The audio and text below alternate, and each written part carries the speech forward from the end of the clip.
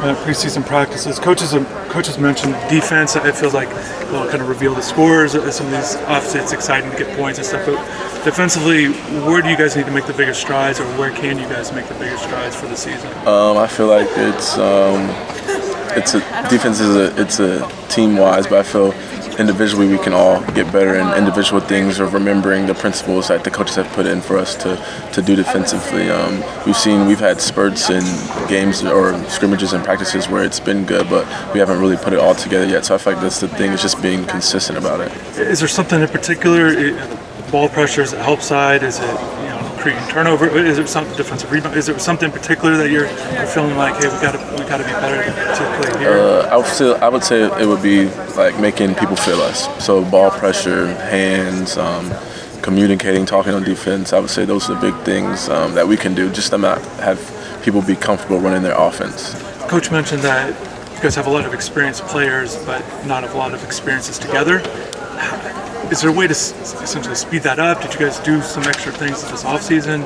Um, you know, again, once games happen and, and more time obviously help with that. Is there, is there anything else that kind of helps with that? I would just say talking to each other, communicating with each other, which is we've done a, a, great job of it. So I feel like that's the easiest way you can make up for a lack of something. It's just by knowing your teammates very well and knowing like everything about them, knowing the spots on the court that they like. So I feel like we've done a great job of that as well specifically, can you talk about Brandon, what he's bringing to the team, and then Lynn also, kind of just individually each of them, and what you're noticing, and how you you saw Lynn in the ACC last, but just you know Brandon now in the ACC. Your thoughts on these two guys? Uh, Brandon's like a Swiss Army knife. Does it all, shoot it, play defense, rebound, pass. So I feel like he just brings a, a bit of like everything to the table. Um, he's just a, a great all-around player and just really, really poised, really, really smart, really high basketball IQ. So I feel like he'll he'll help us out a lot with his experience. And then Lynn is uh, one of the best bigs that I've played, been able to play with. His footwork, his touch. So I feel like it's just once he gets the ball down low, it's like it feels like it's an automatic bucket. And he does also a great job of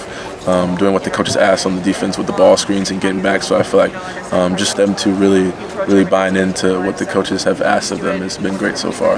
And I know you've talked about it a number of times, just kind of stepping out more to the wing, but you were out there a little bit, you know, last year at times. But is there something with your game that you feel like you really worked on this offseason to that you really wanted to kind of tighten up or, or be better at to, to, have more opportunities, or that you are going to have more opportunities out there in the wing? Uh, I would just say just being consistent. Um, I would say that's the main thing. Um, just coming to practice day in and day out with the right mindset of being consistent and being, bringing what it takes to the table every day. I feel like that's just the main thing. Can you talk about your routine a little bit, just kind of watching you, you know, come in early and kind of get shots up and kind of where that came from and what, how it works for you and what you like to do to be in a good routine for ready for practices or games, whatever it might be. Um, yeah, I just like to be in the, the right mindset. Being mental is is huge. So the more shots you get up, the more you feel comfortable and how you're feeling that day is, is the biggest thing. So for me, that, that easiest way to do that is just come early, self-talk, shoot shoot the ball, see how you're feeling. Um, so I would say that's the main thing, just mentally knowing yourself that day and I feel like that's the, the easiest thing for me to just come get shots up so I feel more confident. Paint touches, coaches talk about paint touches, uh, dribble, kick, uh, for shooters, or however you know paint. How is that kind of coming along? I, I know last year was talked about, but what have you noticed uh, preseason? Has it been a point of emphasis for you guys? Uh, yeah, it's definitely been a, a, big point of emphasis, and I feel like we're all we're all doing a great job of listening to the coaches and what they're asking, and I feel like um, we're doing it. We're doing it well. We can do it better just with more more time and more experience at doing it. But I feel like we're doing a great job of, of getting those paint touches, getting those kickouts, and really seeing the whole floor. Excited for the season, another year for you, but just it's, it's, it's right around the corner, which is how excited I are for you this and, and, and the schedule coming up. Uh, very excited. I think we have all the pieces to to be very successful um, in the ACC and nationally. So um, I just been very excited. What's what's the transition been like for you coming to Miami? Why did you come to Miami first of all? Why did you pick this school, and uh, how is it similar or different from what you anticipated? I picked Miami because of honestly Coach L. Mm-hmm. His uh, resume speaks for itself. 700 wins. Um, I know that Miami has a winning culture. Last year was a setback. Um, Did you watch them during the Final Four run? Yes, ma'am. Mm-hmm. Um, I came here because I, I saw that Nigel was staying, Matthew was staying. I seen uh, Lynn Kidd transfer here, so I feel like I would piece in with them well. What do, what do you notice from the team uh, preseason practices? What's kind of standing out to you with how you guys are playing? I've noticed that we're all we all mesh well, so there's not really too many problems on the court or off the court. I noticed that we're a really good offensive team. Uh, we mesh well on defense as well. Um, I just think, I think we're a fast-paced team, and I think it's going to be fun to watch. Let, us stay offensively, kind of that top group, yourself and Lynn and Matt when he's in there, Nigel Jalen. Uh, What do you see and what, what stands out to you with the Well, things? what, what do you, you guys all have different skill sets, just what do you think uh, offensively. of What, what do you think of that group? player, so no one has I think there's no, what to expect. we all know that we won't have the same role every night. So one person will be on one game, or two people might be on. Um, we just have to do something else other than score. So whether that's passing the ball, set of screens, I think there's no jealousy. Um, and I think we all understand that, and I think that's going to be good for us as well. And with that, you know, coach, just kind of your game, able to do different things. How do you luck. stay luck with that efficient and and still be productive? Like I said, maybe, if, if, for example, if there's a game or you're not getting shots, like that, but still being I an efficient the team player. hand And your I'm just using that as an for the example. season, That's not going to happen. But If and when you do how, come how do you kind of make sure you're impacting the game? You wanna like put finding ways uh, like like I said, uh, setting screens. Like we're all the threat on offense. So if if uh, the defense has to worry about me, I'll set a screen.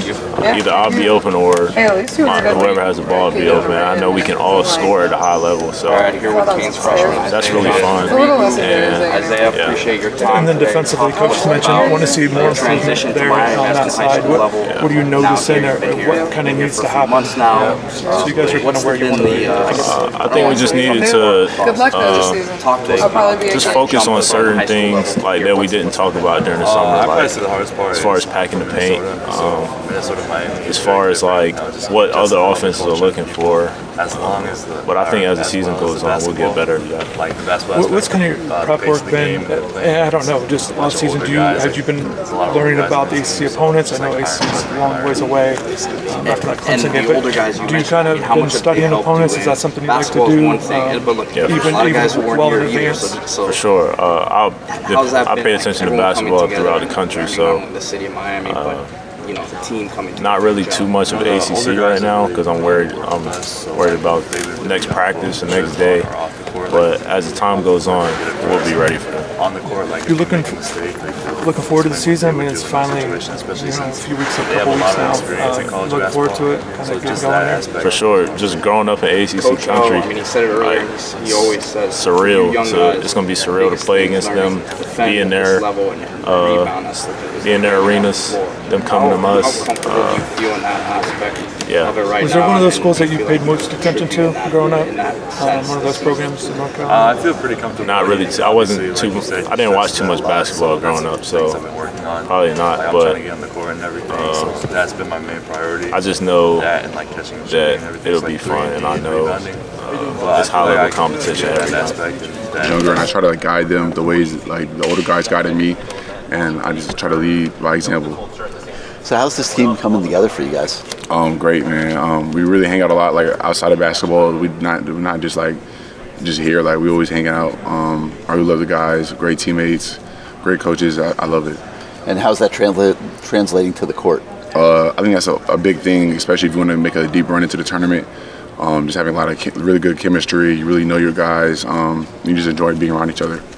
I was talking to Nigel, and um, we talked about the Final Four, and you know there are a few years obviously removed from that, but you know he's he's been there. Um, he said he wants to take this team there. He, he he thinks that you guys have that type of potential based on the way practices have gone. Um, how do you feel about that? Oh yeah, I agree. Um, that's what I came here for. I came here to um, go all the way with it. Um, I'm confident in my guys. I'm confident in myself. Um, I think we can do it. Now, your backcourt's a little smaller, so you know that's going to put a little pressure on the bigs, I would think, to really show up on the boards. Yeah. Talk about that a little bit. I mean, we are a little small at the top, but like, uh, you you got it in your heart, man. You can do it, man. This is this is a hard rebound and stuff like that. You just who wants it more? And I think we have guys that really want it. We have a lot of guys on our last year, um, and I think we're gonna get it done. I know we're gonna get it done.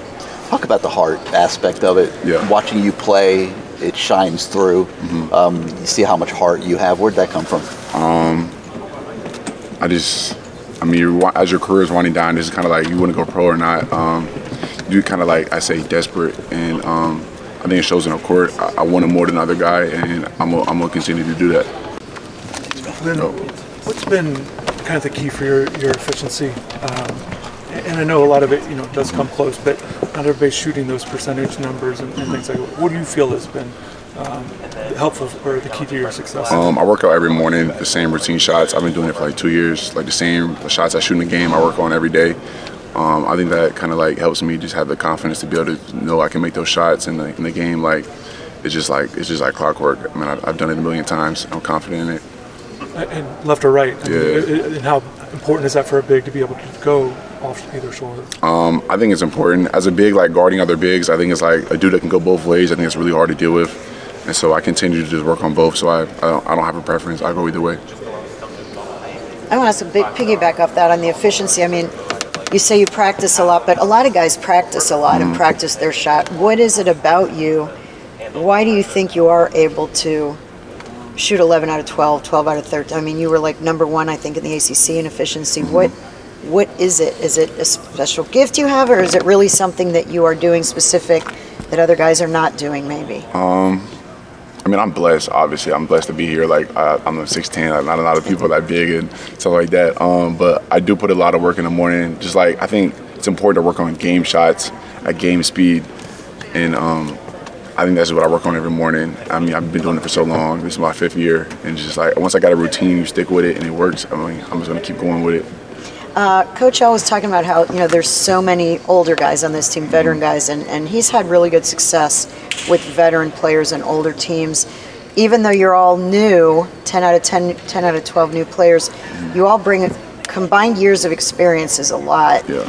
Can you just talk about that? How is that manifesting itself on the court when you have all these guys who are 22 and 23 years old, even though you're together for the first time? Um, I think a lot of us have seen a lot of hoops.